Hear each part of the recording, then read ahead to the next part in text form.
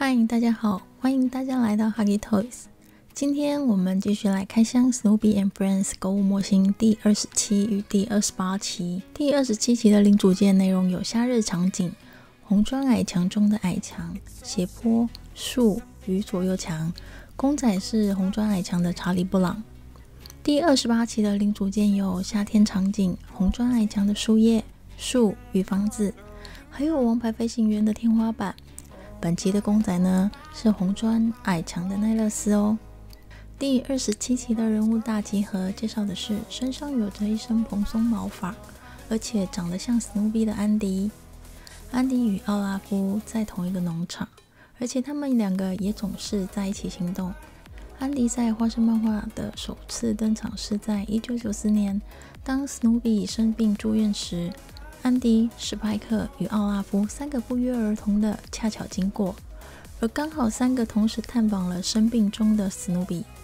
在等待史努比醒来的过程中，三个兄弟在病房外闲聊道：“史努比永远都是家族中最活泼的那个。”而且安迪还发出了灵魂拷问道：“如果我们都是兄弟，为什么我的毛那么蓬？史派克为什么那么瘦？而奥拉夫为什么那么胖？”这引来了史派克与奥拉夫不满的回答道：“史派克说，我瘦，我是苗条。奥拉夫则说，我不是胖，而是圆嘟嘟的。这是花生漫画中少见的三兄弟一同聚在一起聊天的时刻了。在安迪出现后，我们了解到他曾经在猎犬训练学校待过，可以看出他的个性与奥拉夫比较起来更为严谨与积极。”在他与奥拉夫一同出现的对话中，可以看见，像是待在农场中闲暇时间，想找点事做，并且感叹生命短暂的。安迪的表现与一旁悠闲自在的奥拉夫成了鲜明的对比。即使个性大不相同的两兄弟，却常常结伴而行。安迪与奥拉夫因为经常居无定所，史努比建议他们去找住在沙漠中的史派克。他们兄弟俩于是乎踏上了寻找史派克之旅。在寻找史派克的旅程中，他们经常遇到麻烦，像是中途安迪被抓去当宠物后，阿拉夫得在三更半夜中将安迪救出来；又或是未配备方向感的两人总是找不到对的路，一再的与通往史派克的正确道路越来越远。最后，史努比不得不派出富有经验的向导糊涂塔克。带领着他们前往目的地。最终，他们在漫画中最后一次出现，则是在寻找史派克的路途上。两兄弟停在了一家乐器行前，犹豫着该不该买一把班卓琴而烦恼。就这样，他们的旅途还在继续着呢。第二十八期的人物大集合介绍的是退休后住在佛罗里达、戴着帽子、眼镜、有着胡子、史努比的爸爸。当史努比还是一只小小狗时，就与家人分开，这导致史努比会时不时的想念起他的家人与父母。在之前的介绍中，我们了解到，史努比曾经因为写信给了雏菊山小狗农场，询问其他家人的下落后，举办了一场家族聚会。这场家族聚会让史努比了解到了再也无法回到以前与家人共同生活的日子了，因为身边没有家人一起生活。这让史努比经常回忆起与家人们一起生活的日子，而爸爸在他的印象中是个会与一百只兔子奔跑，并且跑到兔群前面警告他们富有同情心的猎犬。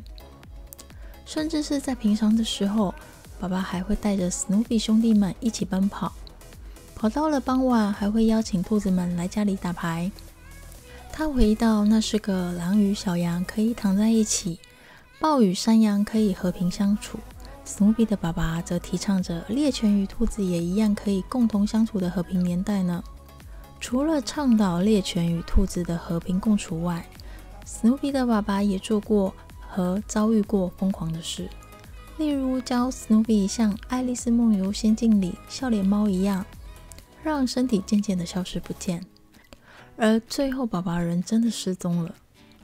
还有，爸爸曾经在仅仅五分钟内与一百只兔子一起奔跑，后来掉进了一个树洞，接着被马踏过，又被狐狸咬了一口。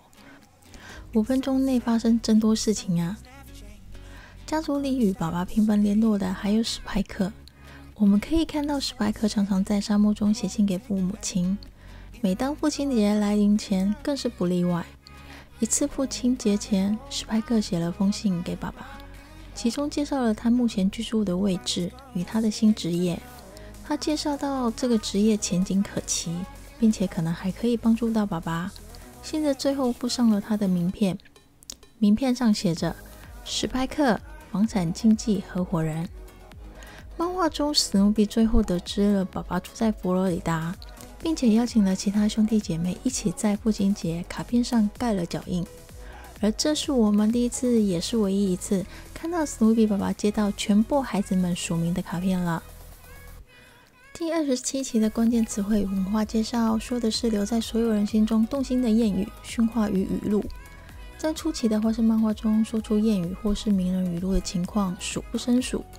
例如，一开始就有帕蒂与谢米对着查理布朗连续说出了“三思而后行”，犹豫的人将遭受失败；“不相见，被思念；眼不见，心不烦”等语录，弄得小小年纪的查理布朗一头雾水。还有一直下雨的四月中，帕蒂提醒查理布朗小心踏水，别溅得满身泥巴时。查理·布朗说出了一点污垢不会伤到任何人。在雨中，帕蒂与谢米正争论着四月雨带来五月花的正确讲法时，查理·布朗则说道：“四月雨带来的是雨衣。”的有趣回答。再一次，帕蒂与凡雷特向查理·布朗道别时，用了一句：“别捡任何木头币。”这是再见，多保重的意思，让查理·布朗愤愤地说道：“真老套。”随即遇到了史努比后，就说出了好久不见的老套短语，可见在这时期的小朋友多么喜欢出口成章，句句都有别意。查理布朗提到语录时，当然也不会忘记史努比哦。例如，帕蒂问起了为什么日历上八月四号特意圈了起来，查理布朗说道：“八月四日是史努比的日子，因为每只狗都有它的日子，这是时来运转的意思。”这个延伸到了查理布朗对谢罗德说：“虽然每只狗都有它的日子，是句古语，但并没有任何科学的依据。”这让史努比在心里咒骂了一下。不过题外话，虽然这里八月四号被指定为史努比的日子，但是这并不是史努比的生日哟。除了一些古语，画生漫画的孩子们也爱引用名人说的话。像是读书不行的薄荷贝蒂在课堂上引用了剧作家奥斯卡·王尔德的名言：“没有什么值得知道的事情是教得会的。”可想而知，此话一出，薄荷贝蒂还是只能乖乖的听老师训话了。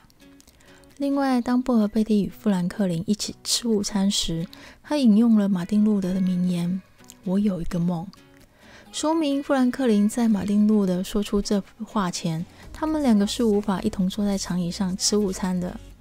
接着，富兰克林顺势的说道：“他也无法用红萝卜条与薄荷贝蒂交换炸薯条。”当然，聪明如佩蒂马上拒绝了这个不划算的交易。令人惊讶的是，在一九九三年的漫画中，奈勒斯问史努比：“若是参议院司法委员会中的拜登向他提问了难以回答的问题，史努比要如何回应呢？”史努比对奈勒斯发出了一声狗叫。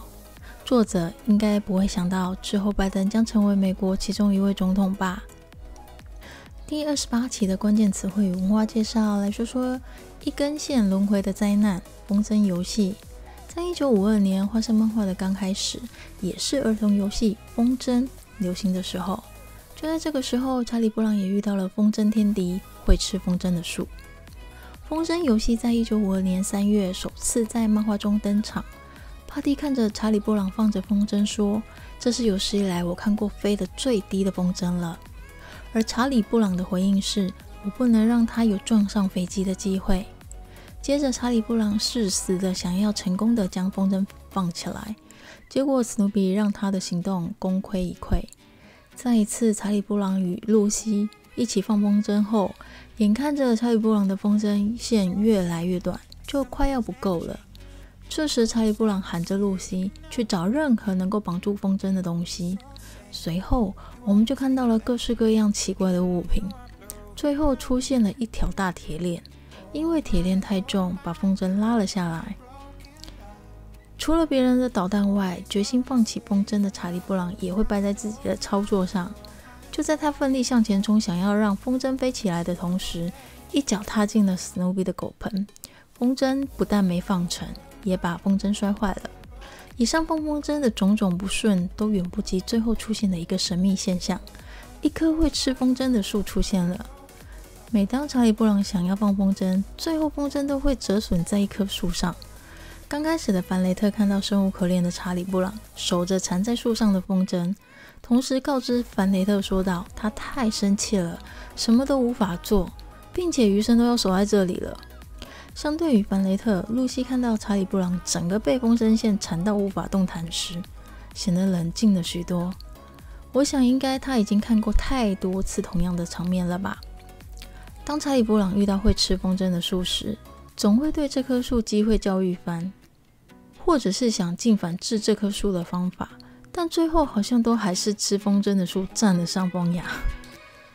第二十七期与第二十八期的杂志内容已经介绍完毕，让我们进入零组件的组装吧。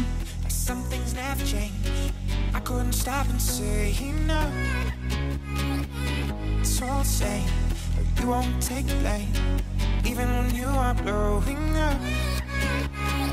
Oh my, oh my, you're my broken love. Nobody's gonna save and oh my, oh my, you're my broken love. So come on, let me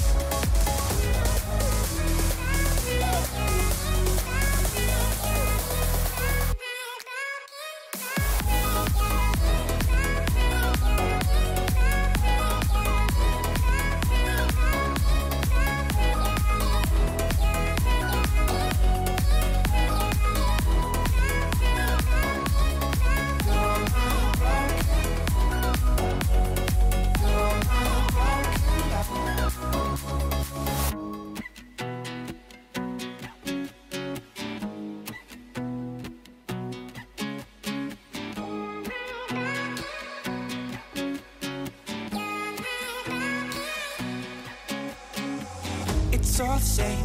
Some things never change. I couldn't stop and say no It's all the same. But you won't take the blame. Even when you are blowing up.